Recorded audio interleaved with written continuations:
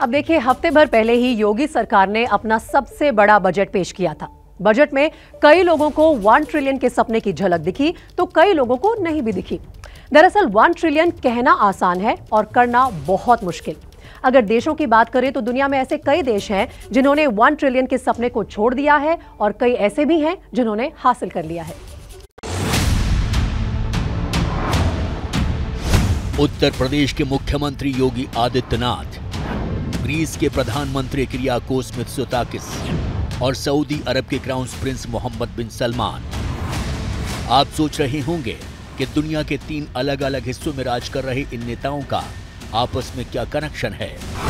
इन तीनों का सीधे तो कोई कनेक्शन नहीं है, लेकिन जो एक चीज़ इन्हें जोड़ती है, वो है अर्थव्यवस्था।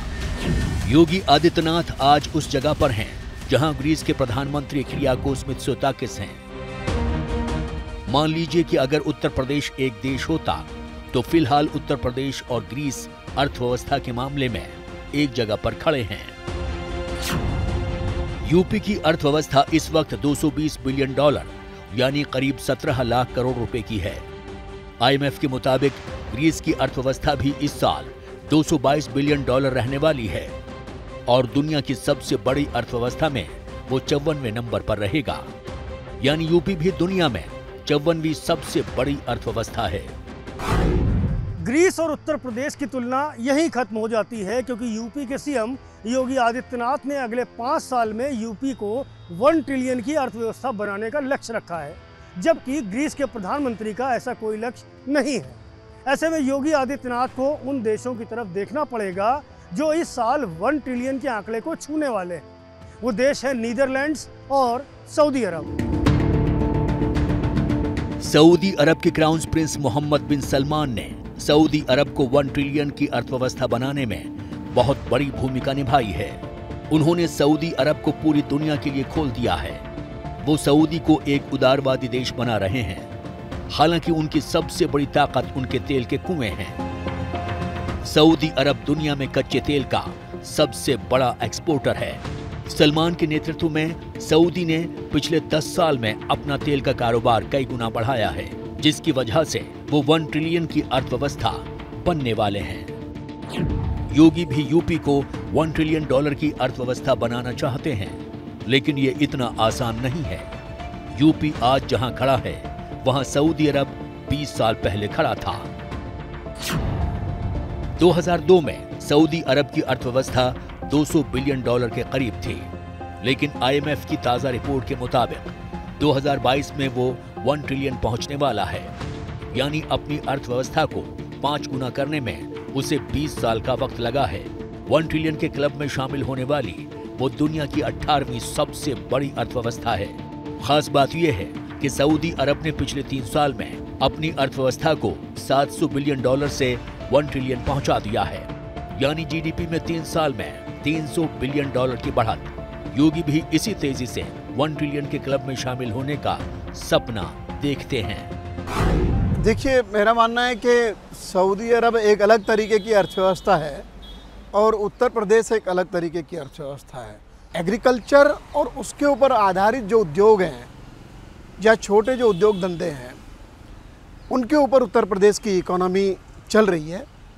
और वो जो विस्तार अगर उत्तर प्रदेश की इकोनॉमी में आएगा इन्हीं क्षेत्रों पर फोकस करते हुए आएगा। वन ट्रिलियन डॉलर की इकोनॉमी आगामी पाँच वर्ष के दायरे के अंदर हम लोग आगे बढ़ाने में सफल होंगे।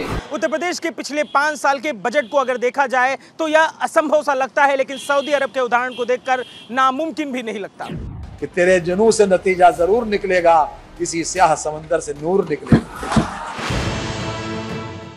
यूपी के वित्त मंत्री सुरेश खन्ना का ये शेयर काफ़ी हौसला दिलाता है। वो भी जानते हैं कि यूपी को वन ट्रिलियन डॉलर की अर्थव्यवस्था बनाना आसान नहीं है। लेकिन योगी आदित्यनाथ सरकार इस असंभव से देखने वाले लक्ष्य को पूरा करने के लिए बड़े कदम उठा रही है।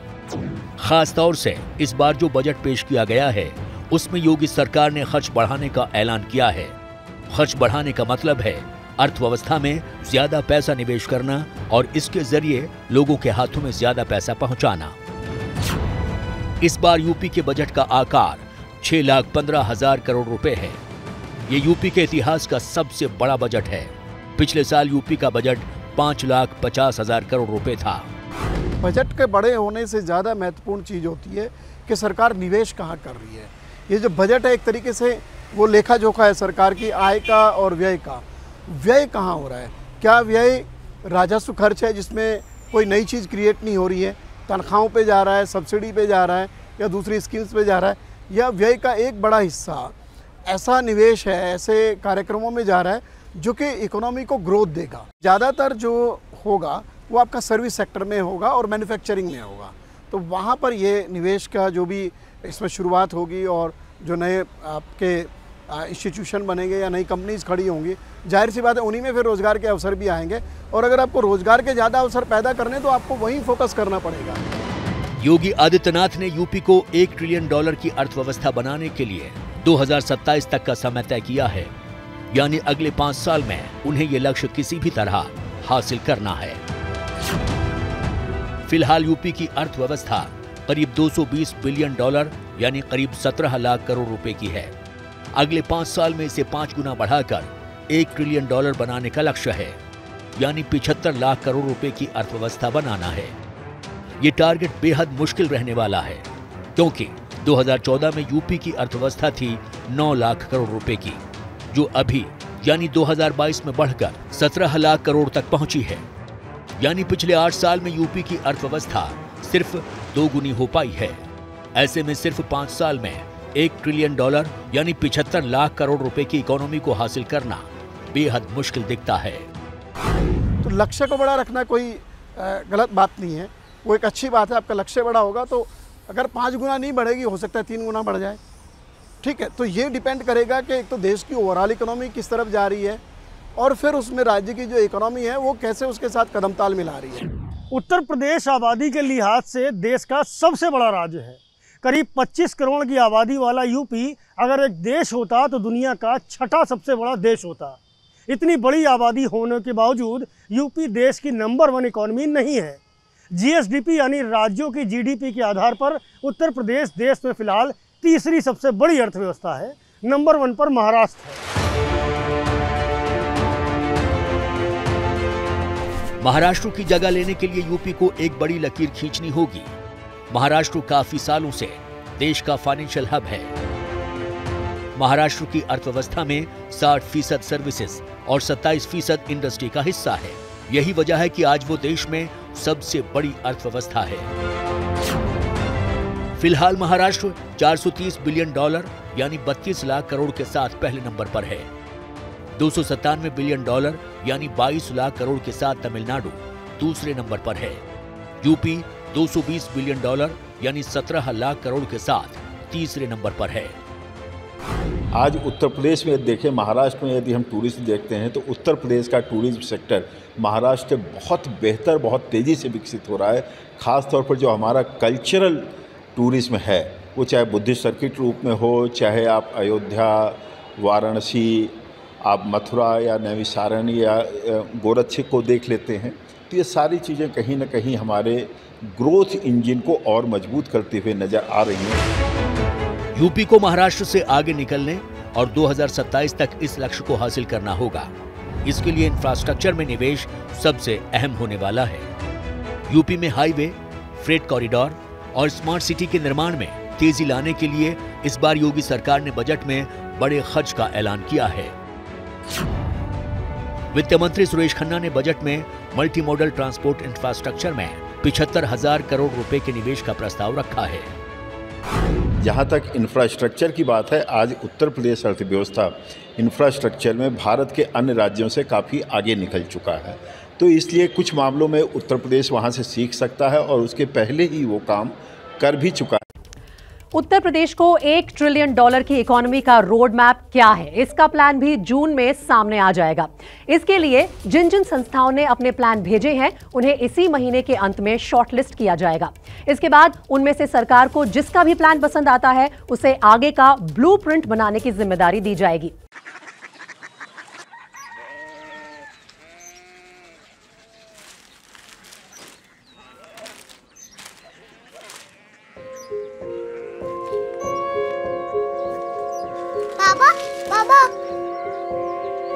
सी, सिटी। जानी ना।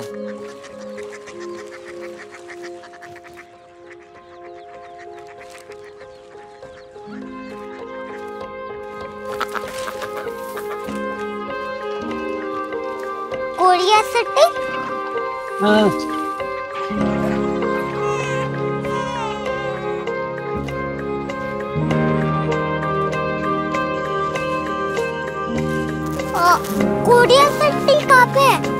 शहर अंग्रेज़ी लगे हैं।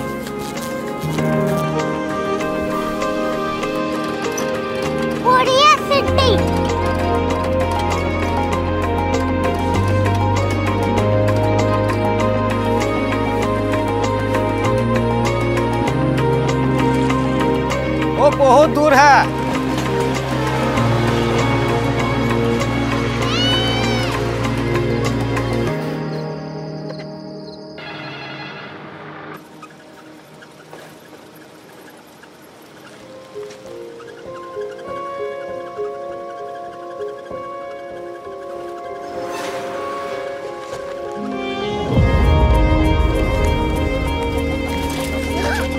कोरिया सिटी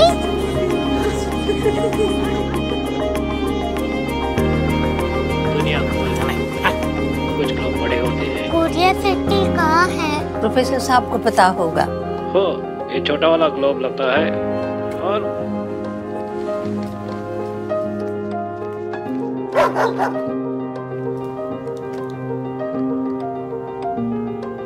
पता नहीं मेरी बेटी से जाके मिल लो। शायद उसे मालूम हो।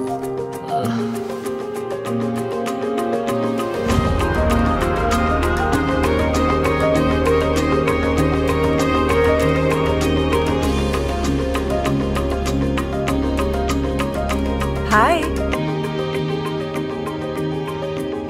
बाबा ने भेजा है। Come here Korea city Korea city नहीं? क्यूरियोसिटी वो क्या? That's what brought you here जो तुम्हें यहाँ तक ले आया। क्यूरियोसिटी